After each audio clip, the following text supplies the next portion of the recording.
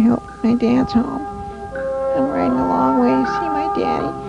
He's in Hollywood making a motion picture.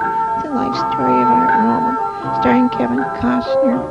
Giddy up, can't you go any faster than this? I don't like kicking animals, but I need to go faster if I'm going to see my dad.